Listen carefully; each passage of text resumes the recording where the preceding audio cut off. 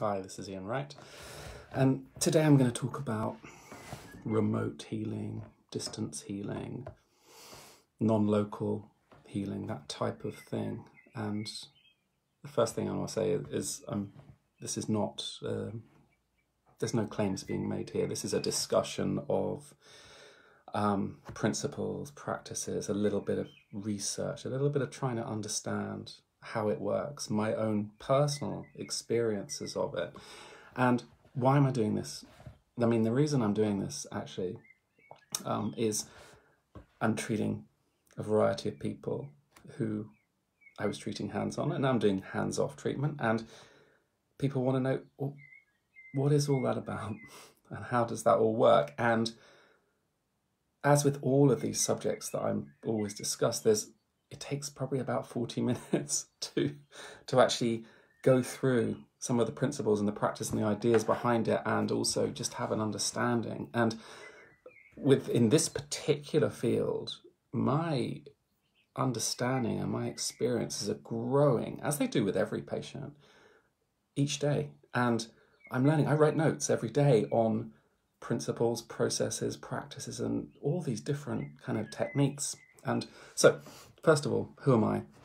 My name's Ian Wright, and I, by practice, I'm an osteopath, and I specialize in cranial pediatric osteopathy, and I've been teaching that around the world for probably 20, 25 years actually now.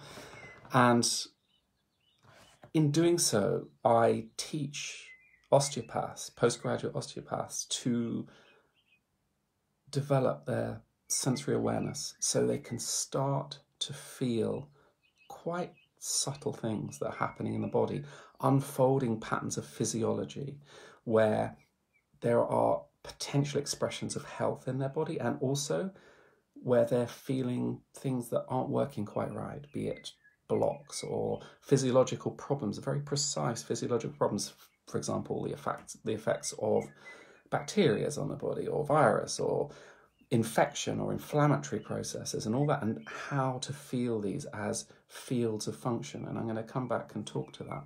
So, I've also, at the same time, for the past, say, 15 years, been teaching non practitioners, people who are um, from all walks of life, what I would call the dynamics of stillness, which again, it's all my stuff is around expanding your sensory development and awareness to really feel um, some of these subtle tides and fluid fields and in nature and also this process of reconnecting with our health and reconnecting with our own internal nature meanwhile exploring our senses. And so that's my background to this. And i suppose behind it all there's this feeling of developing this felt sense where you feel it's it's beyond normal senses or it's a combination of our senses where we get a feeling sense.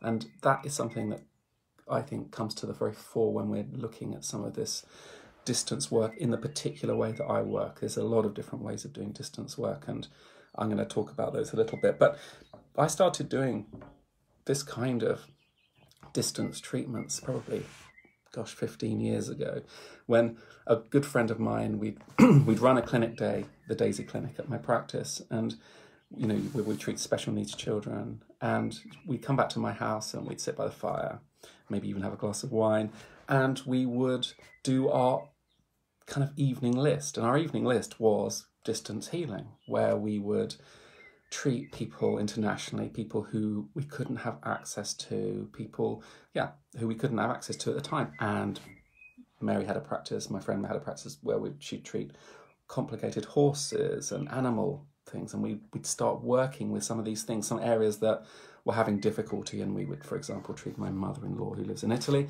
And um, she would feel it every time. And what we realized when we were working and doing this together was it's incredibly precise. Um, and you can have this huge lens, this huge angled lens, which I'll talk about a lot later. And then when I was, as I was traveling more, and there were children that needed support who were really in trouble. Some of these children with special needs, I would constantly be treating XYZ child to support them when they were going through something very difficult. And so that's the kind of contextual background. Then, in certainly in the last three months, my practice changed to ones of, of working hands on to ones of working hands off with people. And it was a fascinating transition and it kind of got me into studying it for myself and studying it as in working with every patient and learning and growing with every patient and working how things work and there's, there's suddenly this whole world open i've never had a lesson in this before in my life but this whole world opened up and it's a, a fascinating thing and what has happened over the last months is it's like your skill base has opened up tenfold. You have this incredibly long angle lens, or you can slip into this micro, micro physiology, or you can slip into the, the huge macro where you're looking at emotional, relational, environmental, ancestral fields and factors with incredible precision, and you can jump very quickly between the between all these layers. So now at the moment, funnily enough, when I'm treating friends and family, I actually sit in the couch in the corner and I treat them hands off because I find I'm I'm it's a more of a precise tool. So it's a very interesting ongoing exploration. But here I'm not going to talk about that so much. I'm going to talk about what the history of this is and what this is all about and where it comes from and some of the I mean, how on earth does that work? You know, looking at actually principles of how that possibly could function and and I'll just talk about one or two kind of interesting experiences and how they link up with research because you know I, I have a bachelor in science I'm I'm quite science based in my thinking and I need explanations I need understandings I need to prove things I'm always prove trying to prove something and people who know me in practice I have all well for the last 25 years at least, I've always wanted to choose the most complex cases because I want to prove if it works. Even with hands on osteopathy, I'm like, give me the hardest case and let's see if this actually does work.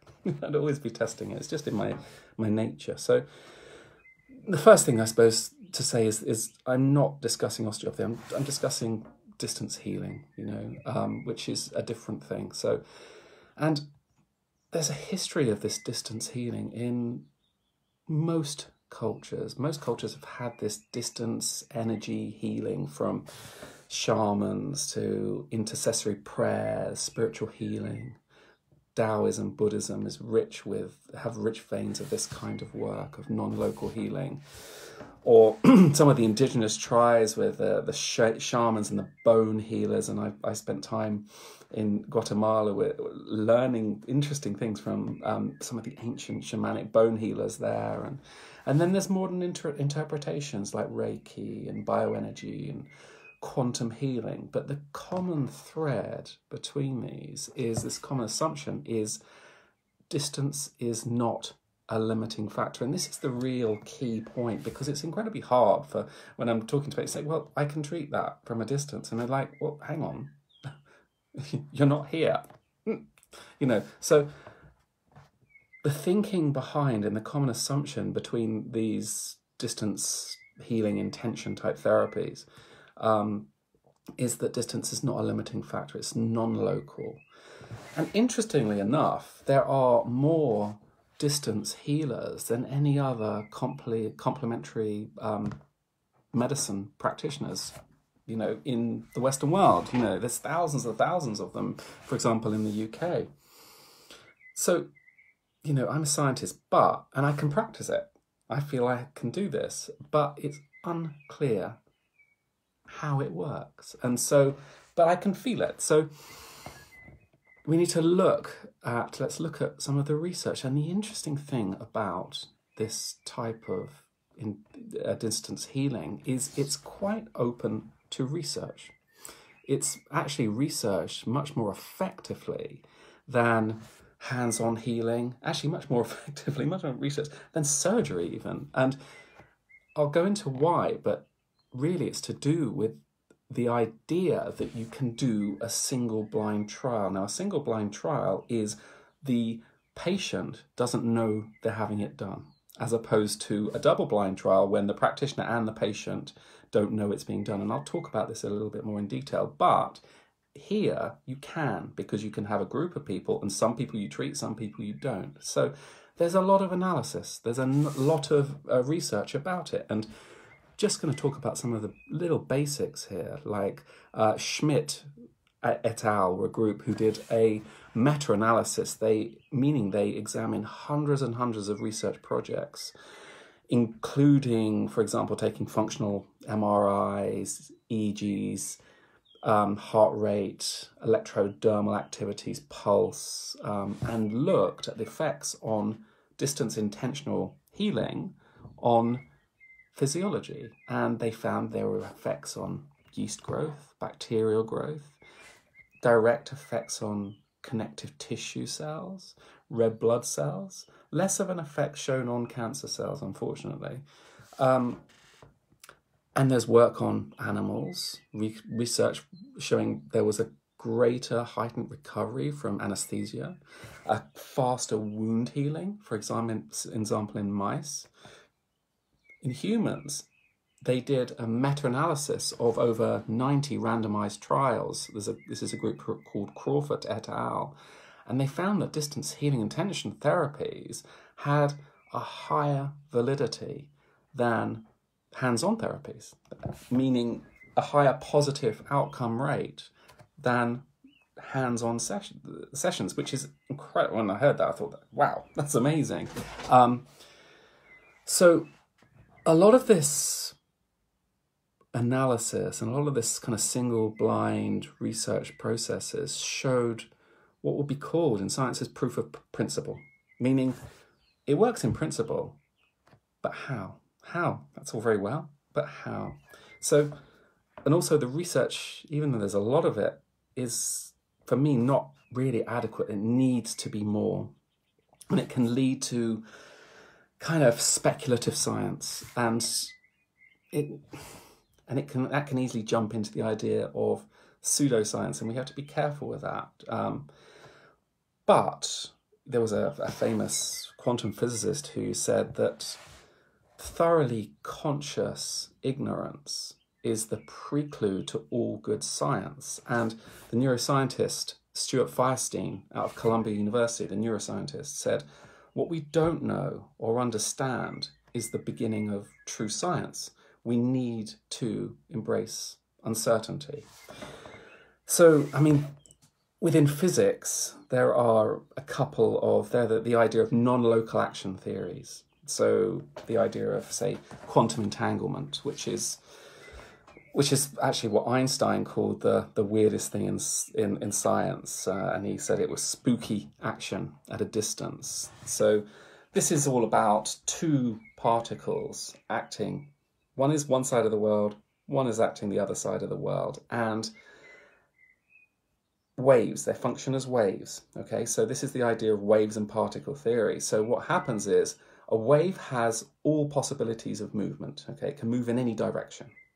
Okay, and everything has a wave and a particle essence to it. So when something, when these part, when these waves are observed, they become a particle in terms of function, and they take up a certain rotation or a certain movement. Say they move like this.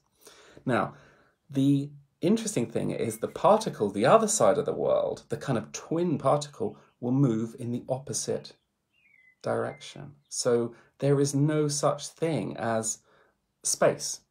Space is an irrelevancy, or there are quantum coherence. So there is a coherence in movements without this idea of space. And, and it's only in, I suppose, modern physics where you start to get this idea that space is possibly a concept for us.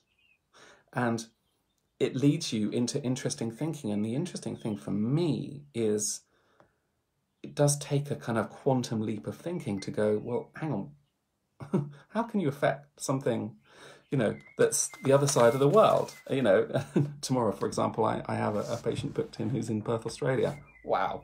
And the, um, you know, and the phone line goes down but actually, I'm saying it doesn't matter. We, can we can still feel because it's it's more direct, which is you know, it's incredible, really. Um, so let's talk about this idea of placebo because placebo is a key element in this, and I'm going to play around with this idea of placebo because it's kind of interesting. I, I find it very interesting, placebo because it's the idea in medicine the simplest way is you give a kind of dead pill with no active ingredients.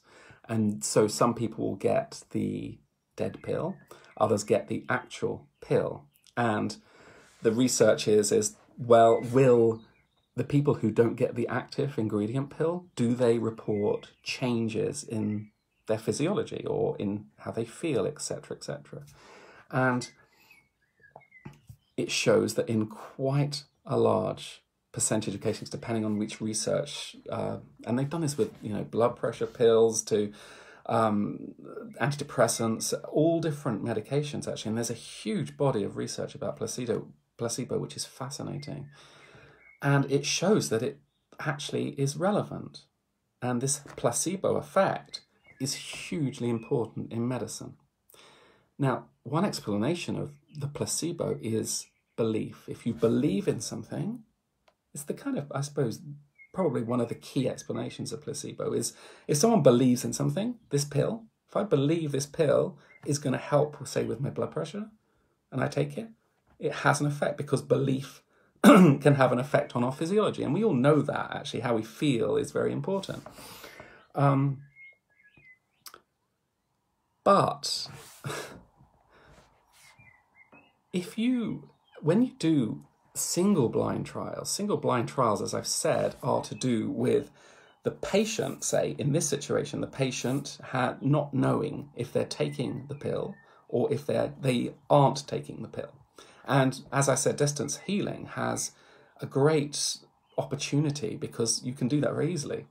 Um, you can't do it very easily with hands-on treatment because you know you're getting treatment. Now you can give scam treatments, but you're still engaging with someone, so it doesn't really make sense. Or incredibly difficult to research surgery. So you don't have single blind trials that are very effective in surgery because I suppose you could open someone up and close them, and people have done that and not do what you need to do and see if that helps, but you're still engaging with them in a different way. Now, it's much cleaner researching so, someone who, when you're doing distance healing, you either do something or you don't, and they don't know. It's the same as giving a pill almost. So that's why the research is so much better. double blind, you, as I said, you can't do. So, is belief part of the positive effects of distance healing? Well, I'm going to tell you a couple of funny stories about that, which kind of make you think. Um, because I'm always the scientist, I'm always testing it. So I'm gonna, I'm not going to talk about patients. I'm going to talk about uh, one friend and one member of my family because they're interesting cases. And the first one is my cousin, and um, she has a marked um, MS, and she lives in England. And whenever I'm close, whenever I'm there, I've gone and I've treated her. You know, and it's not, you know, you're not expecting a miracle, but I'm hoping that she'll feel a little bit better, you know, a little bit more energy, a little bit more something. Um, and I and I've treated her on many occasions, and you know, she says, Ian, that did nothing. she's very straight. She's very down the line with me, and I, you know, there's me thinking, you know, I can help. No. So you know, a few weeks ago, um, six weeks ago or something, um, you know, I, I find out that uh, she's, you know, she's she's by herself. She's quite, um, you know, she, she she's needing a lot of support. It's quite, you know, uh, marked. And she'd had a fall, and she she wasn't able to walk, kept falling over, and uh, had double vision.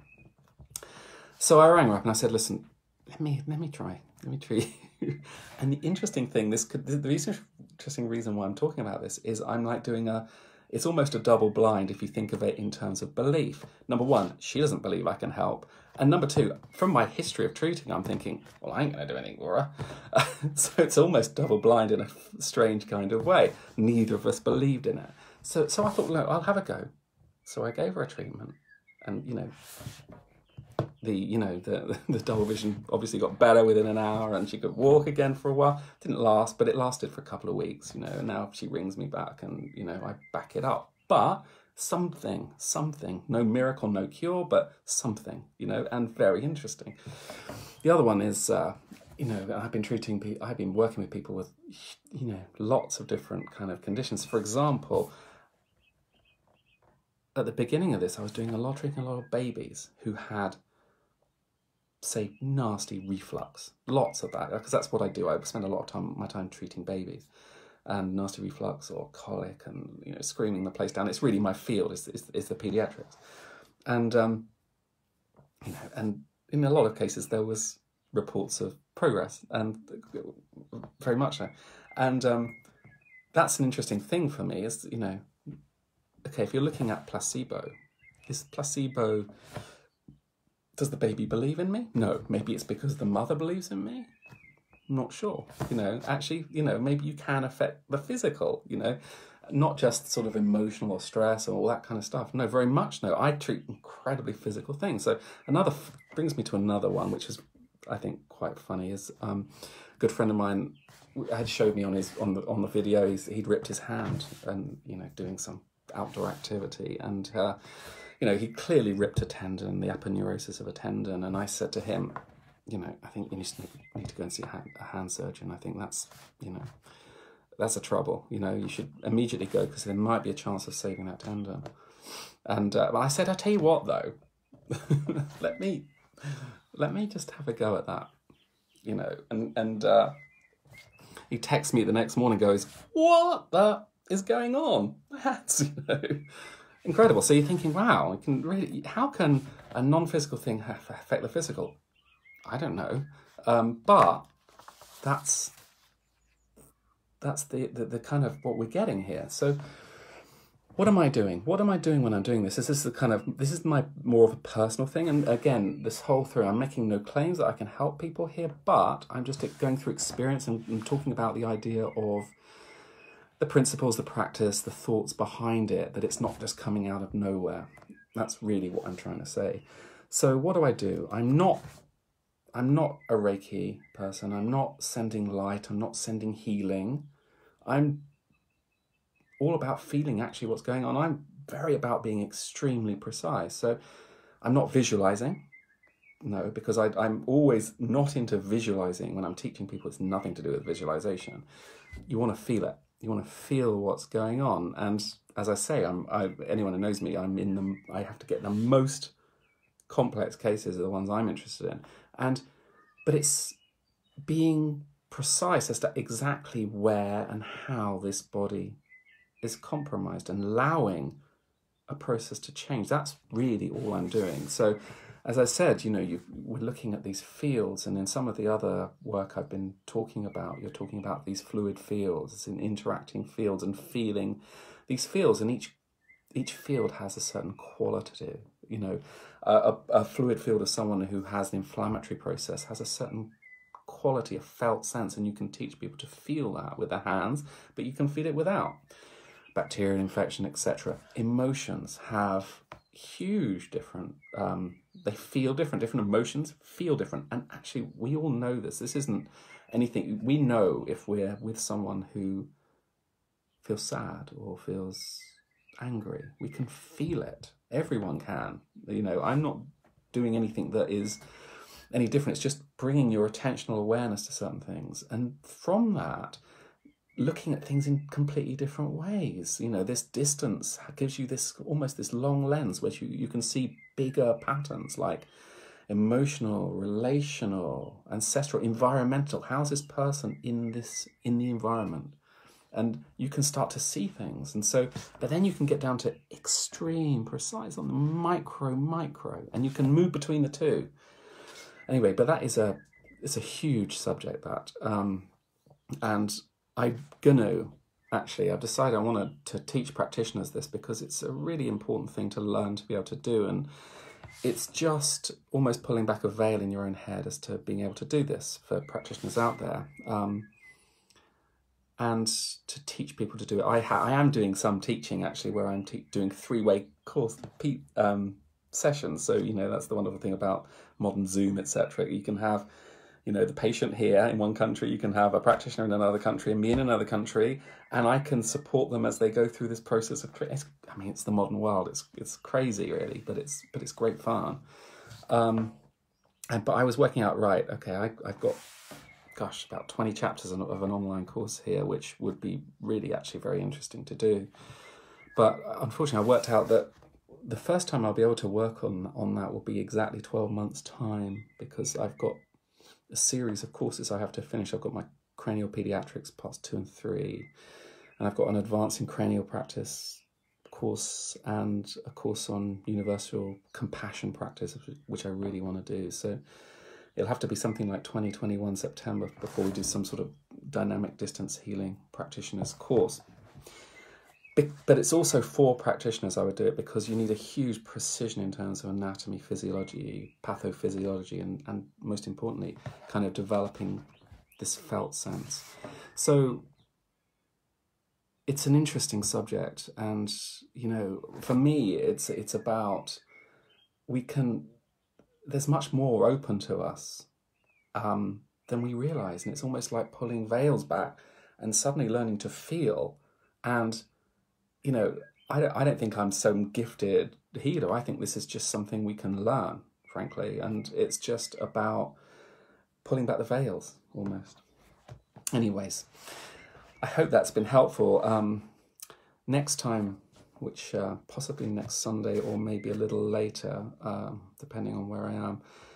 Um, but follow uh, this Facebook page, uh, Dynamics of Stillness, to um, I'm going to do a talk about this really, I think, really important to me um, course that I, I I'm putting together. Actually, it's just it's been done, um, which is about restoring peace through this anxiety breaks work, which is to do with very focused, precise practices, which I've never seen done before. And I've spent the last two years working on this, and it was for a book, but I decided that actually it's better if I talk it through with people. I, I think a book is, is not because I was actually heading towards getting it published, and I thought, no, actually, I'm going to do this as a course because I think it will reach people better. And it's about really literally rewiring your brain because the brain the, the, the brain and anxiety has a certain neural pathways that have become sensitized they actually grow um, in different ways and it's about literally repatterning the brain very focus specific practices which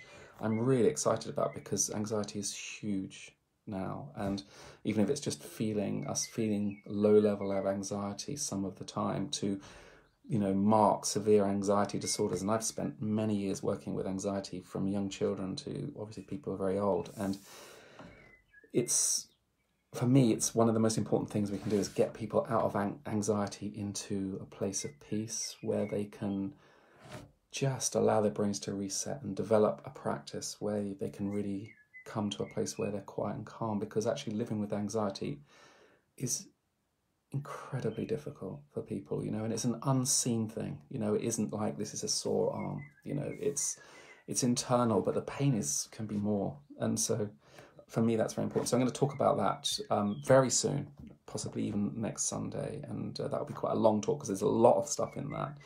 Um, with regards to being in contact with me, um, with regards to um, healing stuff, um, dynamics of stillness at gmail.com. You can you can email me with uh, questions or thoughts about it. But um, distance healing is it, it's something else, and it's like you know, I, in the last three months, it's been fantastic because my whole way of being and way of doing things has completely changed, and I find it incredible that I'm. You know, I'm I'm sitting in the same room as as a member of a friend or family, and like, no, I'll treat you hands off. You know? But then actually people who who know me in, in at the Daisy Clinic, you know, I'm I'm sort of standing in the corner and directing stuff anyway. So and I've always used that kind of sensory awareness stuff. So um, it's interesting and the science, you know, this these idea of quantum entanglement, quantum coherence, they're nice in theory, but how does that actually link up? There's a little gap between this idea and this, you know, and so you know, there's research that shows it's effective, but actually, you know, proof of theory, but actually connecting them up would be very, very interesting. And, um, you know, many researchers out there, I'm happy to research. so I wish you well. and um, I'll be speaking to you soon.